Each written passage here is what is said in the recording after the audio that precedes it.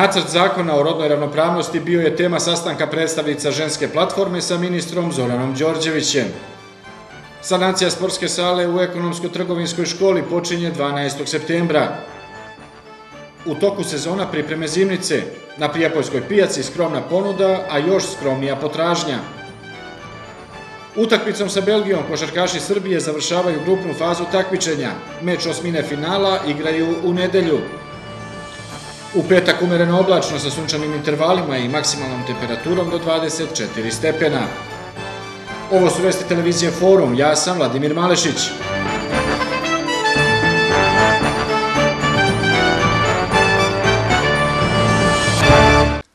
Već dve godine u Srbiji se čeka na donošenje novog zakona o rodnoj ravnopravnosti. Nacrt dokumenta je davno urađen, podržalo ga je 27 ministarstava i nezavisnih institucija, kao i 63 organizacije, sindikata i udruženja građana, koji zajedno broje oko 400.000 članova, saopštilo je koordinacijono telo za rodnu ravnopravnost vlade Srbije. Protiv njegovog usvajanja je Ministarstvo za rad, zapošljavanje, boračka i socijalna pitanja.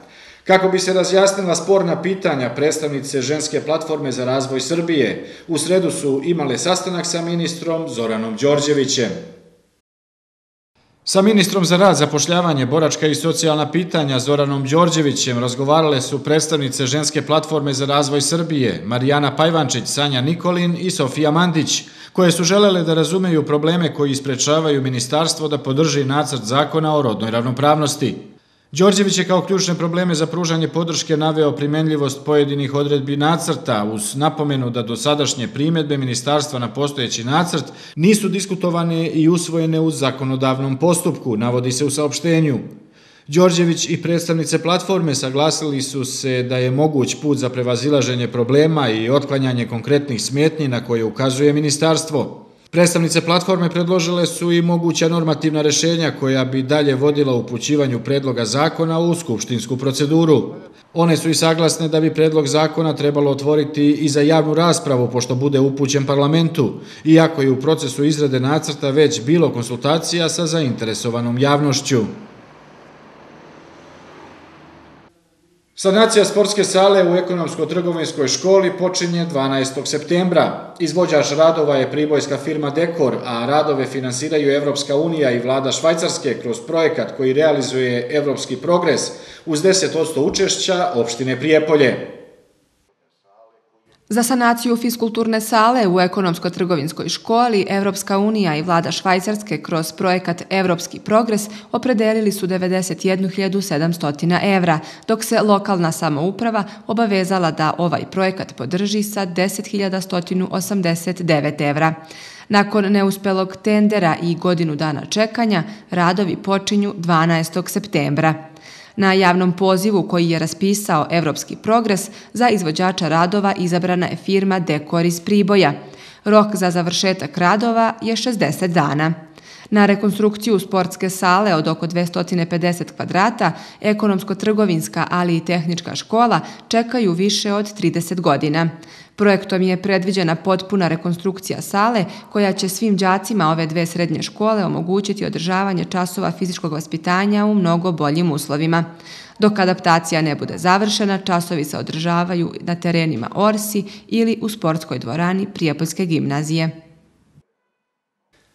U Priboj ponovo, posle četiri godine, dolazi mamograf kliničkog centra Niš radi prevencije i ranog otkrivanja raka dojke. Mamografski pregledi obavljaće se od 11. septembra, a mobilni mamograf biće stacioniran na platovu ispred Doma zdravlja mesec dana. Snimanja će se obavljati u terminu od 8 sati do 14 sati i 30 minuta radnim danima i subotom. Preventivni pregledi su namenjeni ženama od 50 do 69 godina starosti, a na mamografiju mogu doći žene druge starostne dobi ukoliko im je lekar izdao uput za mamografiju. Pregledi su besplatni, a zdravstvena kartica ne mora biti overena. Pregledi se mogu i zakazati na broj telefona 2451 587.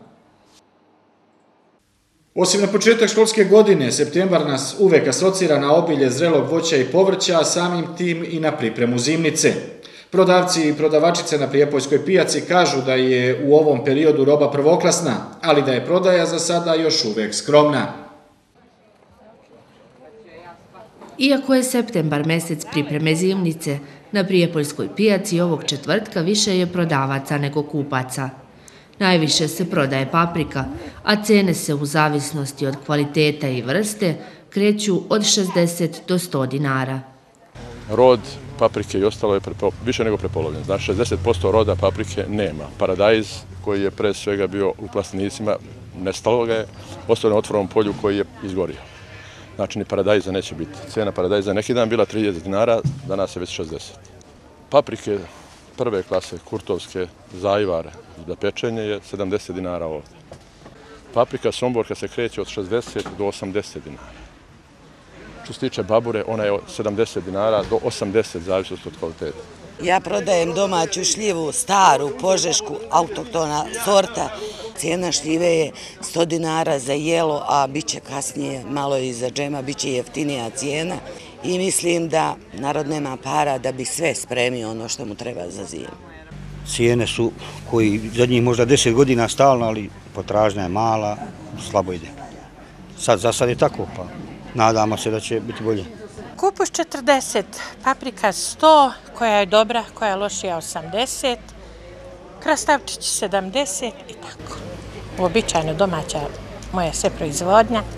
Pomalo je počela, nije to još ono pravo. Sad je narod malo u troškovima bio baš ono jači naš praznik, djeca u školu, tako, ali nadamo se uskoro da će to biti mnogo bolje. Paradajz je kod lokalnih poljoprivrednih proizvođača gotovo duplo skuplji od onog koji stiže iz centralne i istočne Srbije, pa se cene kreću od 50 do 100 dinara. Plavi patliđan je 60, tikvice 70, beli luk 500, šargarepa 80, veza peršuna 30, a pasulj 400 dinara. A šta prijepoljci i prijepoljke spremaju za hladnije dane?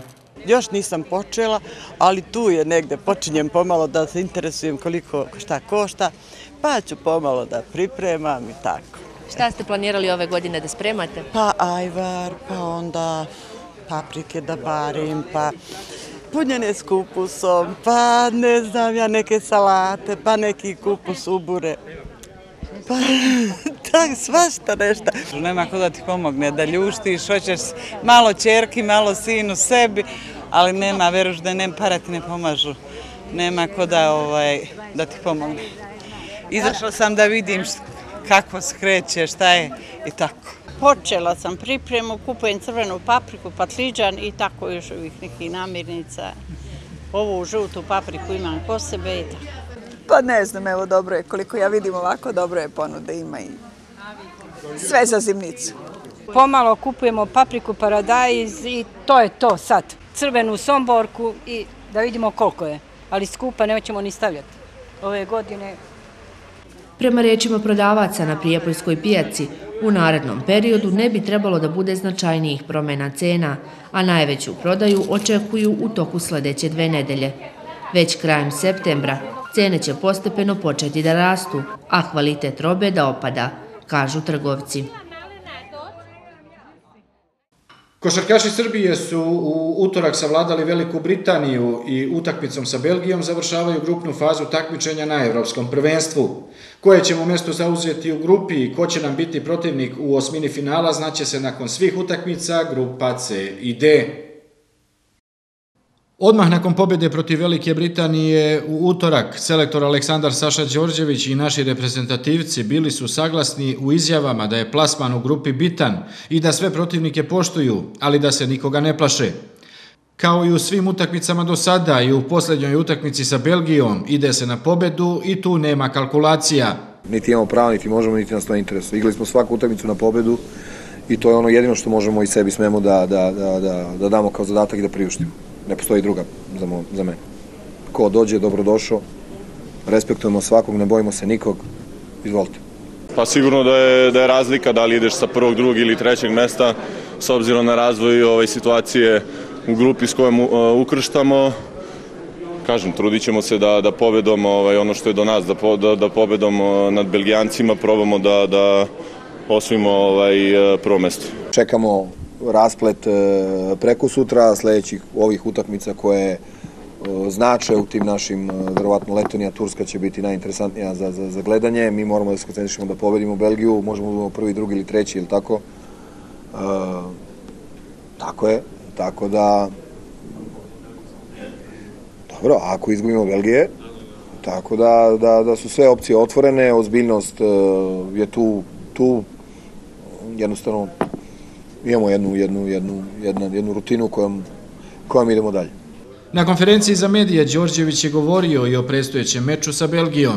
Igraju dobru košarku, jako organizovano, imaju iskustvo na bekovskim pozicijama Varosom i Tabu koji igraju već godinama i, i evroligaške sezone su iza njih, e, vodeći su igrači u svojim klubovima, sjajni šuteri, Žile RVL koji je imao iza sebe dve, tri godine u Real Madridu, sada u Bilbao, imaju jednu dobru, dobru hemiju, mlada ekipa, isto atleti, atletski izuzetno snažna, jednostavno mi moramo da se, da se spremimo, moramo da idemo na, na, na pobedu, ne interesuje nas ništa drugo i, i tako ćemo se spremiti. Maksimalan respekt, e, tražit ćemo naše stvari, e, vi to što gledate i ti to što gledaš, ovaj, to je jedna stvar, ali nas to ne treba da, da, da omete i da nam pokvari koncentraciju.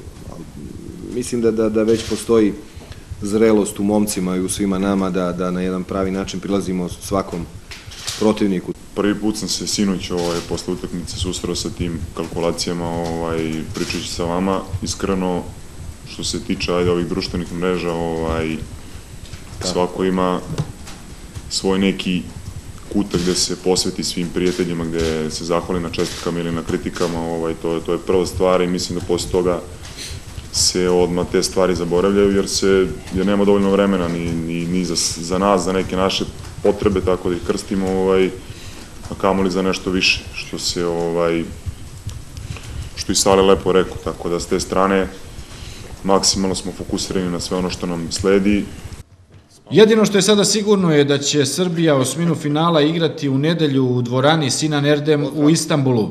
Najverovatniji protivnici su Crna Gora ili Mađarska, a sve zavisi od toga hoćemo li biti prvi ili drugi u grupi.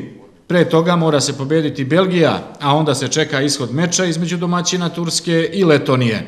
Ako budemo drugi u polufinalu, najverovatnije idemo na Špance, koje svi pokušavaju da izbegnu i koji slove za najveće favorite.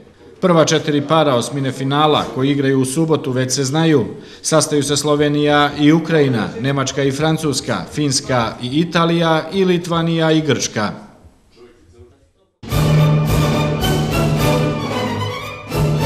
Od 5. do 20. septembra u S-Commerce marketima. Cekin pileća viršla 1 kg 269 Zlatiborac goveđa čajna kobasica 899 dinara po kilogramu. Dar kafa 200 grama 149.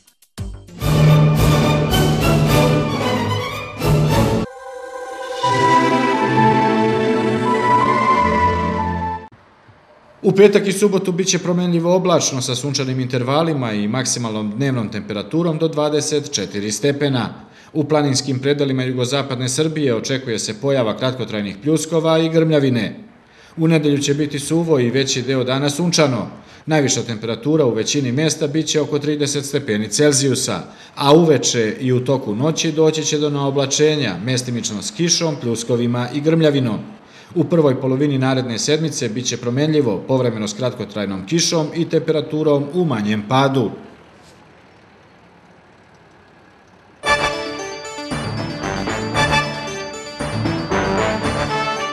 Pogledajte još jednom kratak pregled najvažnijih vesti. Nacrt zakona o rodnoj ravnopravnosti bio je tema sastanka predstavnica ženske platforme sa ministrom Zoranom Đorđevićem. Sanacija sportske sale u ekonomsko-trgovinskoj školi počinje 12. septembra. U toku sezona pripreme zimnice, na Prijapojskoj pijaci skromna ponuda, a još skromnija potražnja. Utakmicom sa Belgijom košarkaši Srbije završavaju grupnu fazu takmičenja. Meč osmine finala igraju u nedelju. U petak umereno oblačno sa sunčanim intervalima i maksimalnom temperaturom do 24 stepena. Poštovani gledalci i gledateljke, bilo je to sve u ovom izdanju Vesti televizije Forum. Ostanite uz naš program. Prijatno!